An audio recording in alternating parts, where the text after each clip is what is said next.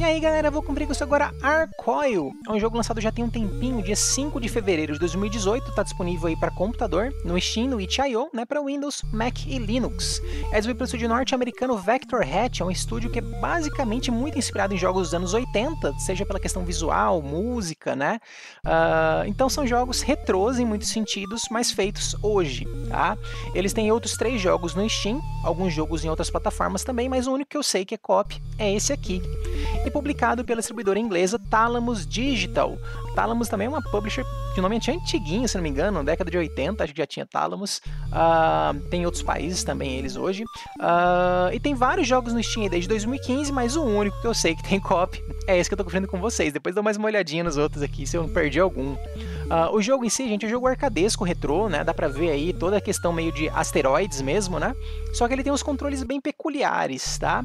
Basicamente, você ou anda ou atira.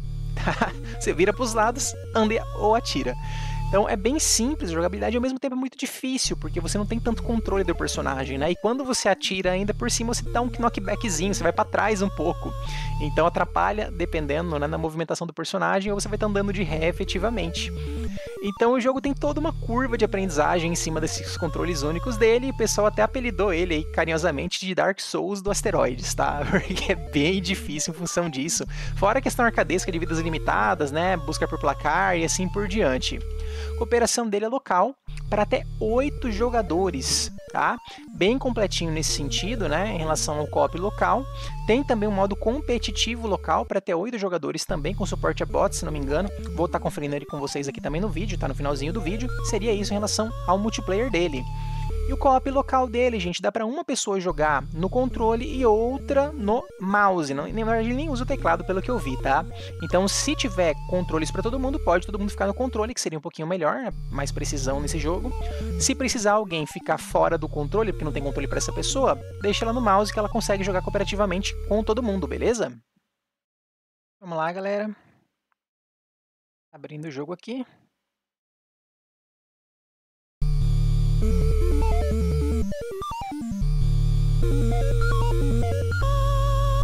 Reparem a barulhada, bem jogo de Atari, né? Vamos lá, configurações. A gente tem o um modo sem estresse, que deve deixar a vida infinita, alguma coisa assim. Essa tremessão de tela, né, que deve dar para parar com alguma dessas opções aqui, eu imagino.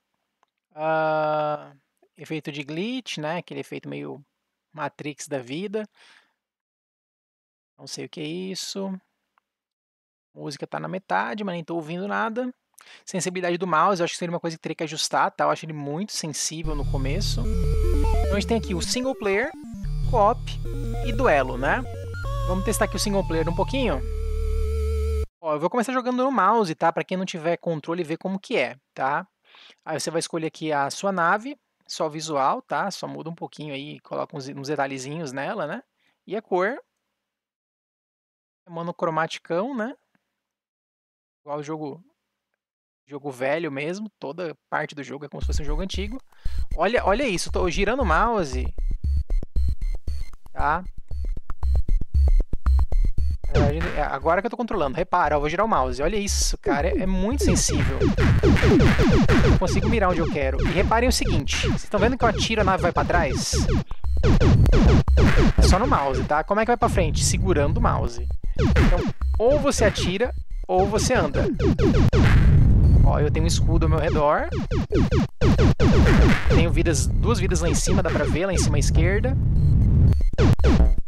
Particularmente, assim, eu gostaria que eles colocassem uma, uma mira, né? E, e você mirar, você na direção da mira ia ser muito mais de boa. Muito mais preciso, mas acho que fizeram desse jeito. Ó, tem um checkpoint ali que não sei pra que serve. Talvez se eu morrer eu apareço nele, né? Tendo vida extra. Ó, vai ter um power up aqui. Eita caramba, morri. Nem deu pra ver o power up. Ó, tem pontuação também lá em cima esquerda. O jogo é difícil mesmo, tá, gente? É, é o Asteroids Dark Souls, o povo brinca, porque... Repara, eu vou dar uma clicada rapidão, olha isso.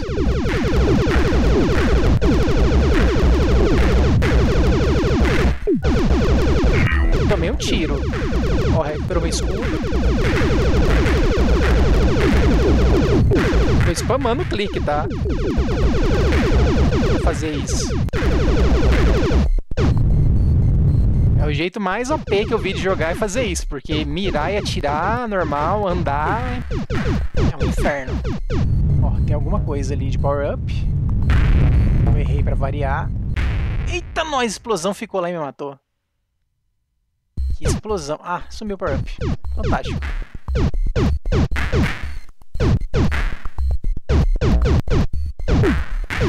Olha o spam de projétil. Acertou meu escudo, é óbvio, né? Toma. Lembrando que aquela explosão é mais certa. Ó, acho que vou passar de fase, né? Deixa a primeira vez aqui, só pra mostrar essas moagens aí.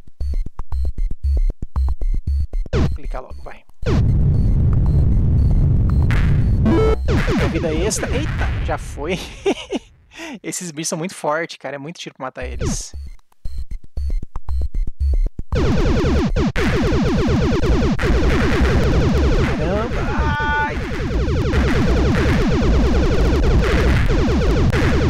Você vê que esses, esses troços pra destruir não faz nada, né? Só pra atrapalhar um pouquinho, mas não é nada demais. Não vai te matar ou algo assim, aparentemente. É minha última vida, né? Também sem fazer, também sem fazer, palhaço. Olha, tiro teleguiado, gente. Só que eu acho que acaba rapidão esses power-up aí. Já foi. Como eu spamei tiro, rapidão acaba. Nós. Esse padrão aqui. Ave Maria, cara, tá louco. Já foi, ó. Aí acaba aqui, tem um placarzinho, ó, você pode escrever, dá para escrever no teclado, não dá para usar o teclado, tá? Você vai usar como se tivesse um, um letreiro ao redor, né? Para colocar as letras, é horrível no teclado e mouse, no mouse, né? Eu vou testar agora no controle, tá? Tentando aqui, mas não tá indo não. Vamos ver? Ó, Vamos lá, analógico esquerdo, miro certinho, muito mais precisão. E atira só no A. O B já faz isso de sair, tá?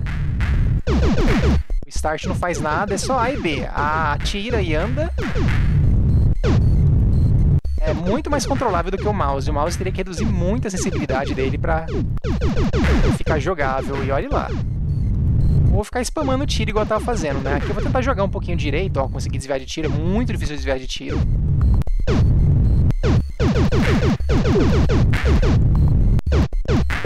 Um power up aqui. Recuperei o escudo. Ai, ai. Ó, como os inimigos também acertam as, as coisas, bem legal, né? Auto fire. Que acaba rápido, né? Aí você não consegue andar. Não consegue andar. Ai, tomei tudo. Tomei tudo. Por conta do, do auto fire. Não é um negócio bom. Eita caramba! Aí ele explodiu, eu ia morrer de qualquer jeito. Tentei correr pro power up e lasquei.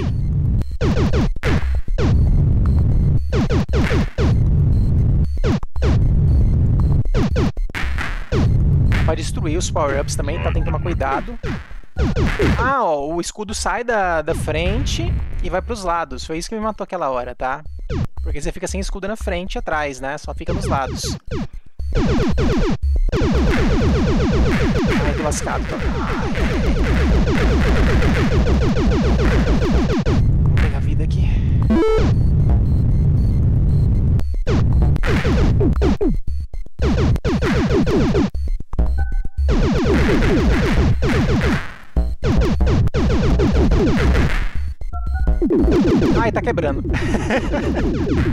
Eu achei que ia ficar seguro.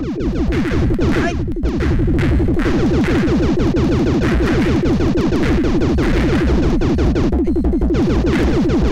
Ah, tá lá, capeta. Vou tentar pegar esse trem aqui embaixo.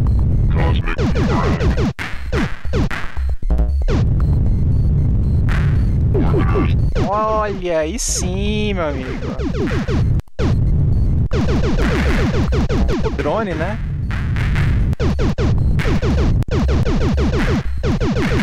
Enquanto você tá com ele sobrando aí. Nossa! Pena que não dura nada, né? Coisa linda de Deus. Olha os caras vindo. Caramba, eu nem vi o cara. Eita, destruí sem querer. Ah, perdi os bichinhos. Ele não estaca, né? Um monte de power-up ele não vai estacar. Os que tem um potencial defensivo é sobrescreve um ao outro, né?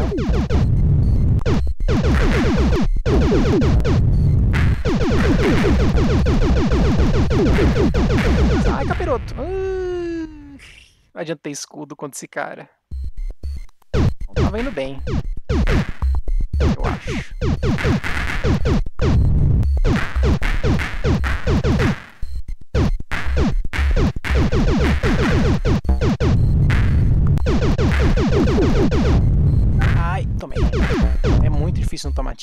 Tá louco.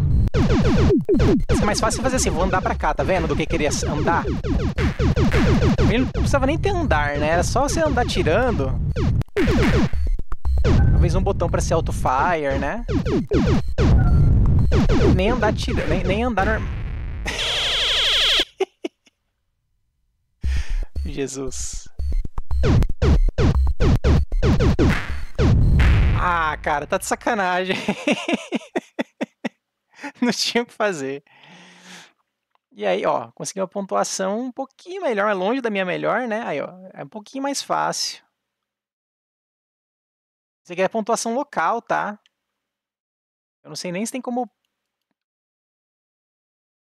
continuar. Tipo, tem, tem, tem que colocar vazio mesmo? Da outra vez eu coloquei vazio, quer ver?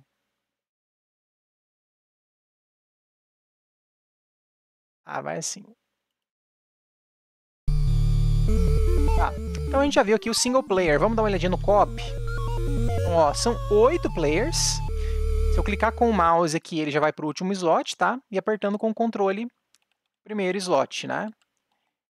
Eu ainda não estou vendo como é que eu mudo. Ah, tá. É analógico esquerdo para baixo, analógico. Só analógico esquerdo digital não funciona, tá? Fico aqui. E vai ser um copy de dois jogadores. Sempre tem esse iníciozinho aí. E ó, um player atira no outro, né? Atrapalha, não, não mata, mas atrapalha, né? E bate no outro também, aparentemente. A pontuação você vê que é separada a pontuação de cada player, tá? Eu não tenho vidas extras. Então, morreu, acabou, né? Vê que aparece a cor verdinha, né? Quando eu mato. Ó, e quando o outro mata é vermelho, é a cor do jogador, basicamente, que a gente escolhe lá no começo.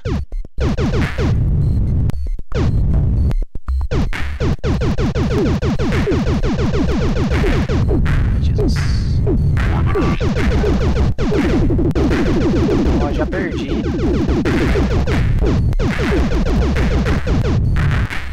O cara tá vivo ainda. Somar pontuação no final, né?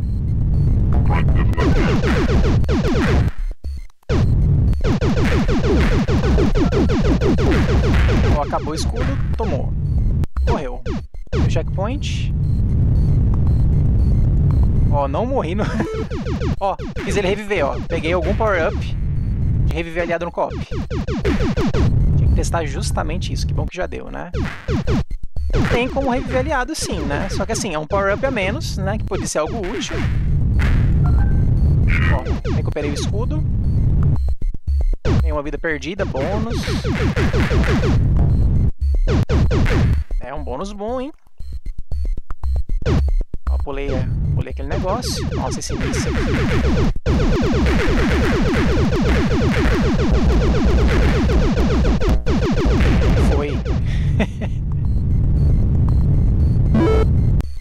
Restaurar.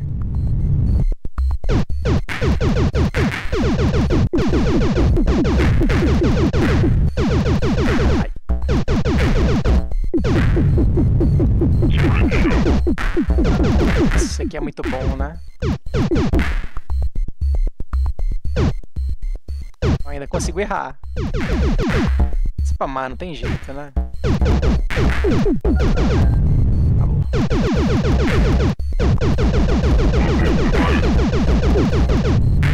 Invisível.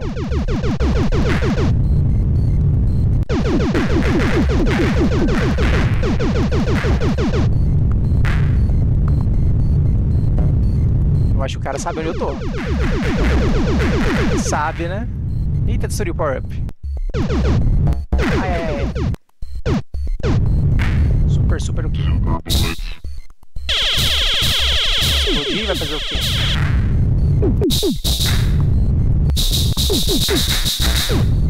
Caramba, tomei.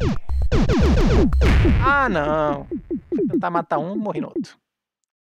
Vamos ver o copy, final dele.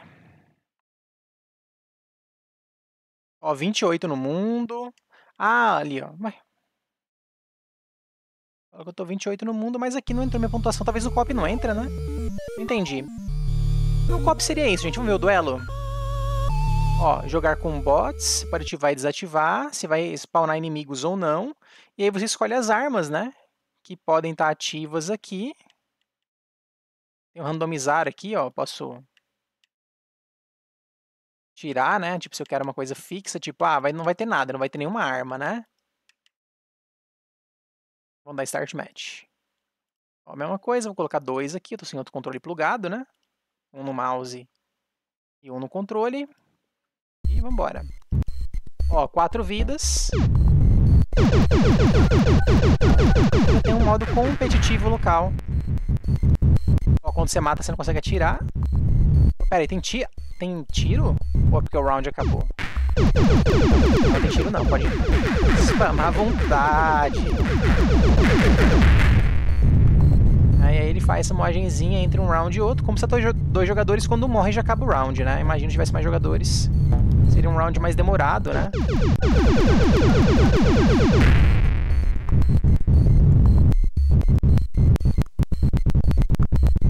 3, 2, 1.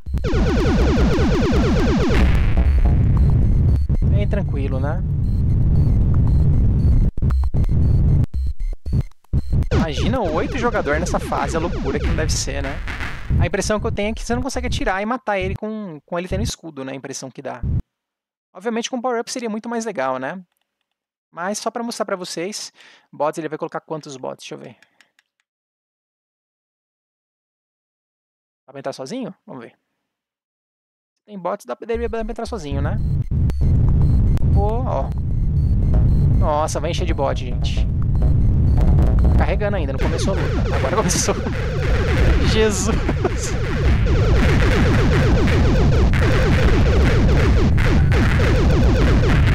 Cara, ó, morri com escudo.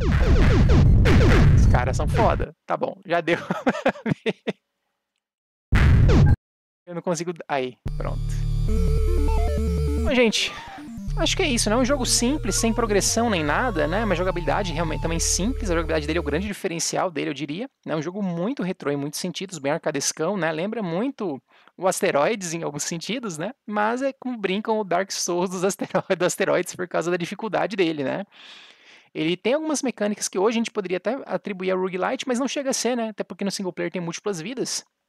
Mas dá para ver bem como funciona aí uh, toda a parte da jogabilidade dele, os modos de jogo que ele tem, né? Enfim, é um jogo muito retrosão, muito simples, né? E deve ter uma curva de aprendizagem enorme pela dificuldade dele, essa questão de você ou atirar ou andar, ou você fica spamando loucamente tiro e, e reza para acertar os inimigos. Né? Correndo o risco, obviamente, ficando nos cantos da tela, de spawnar um inimigo em cima de você, como aconteceu comigo algumas vezes, né? É isso, gente, cooperativo local para 8 jogadores, competitivo local para até 8 jogadores, né, no modo duelo. É isso aí, valeu, falou e até a próxima!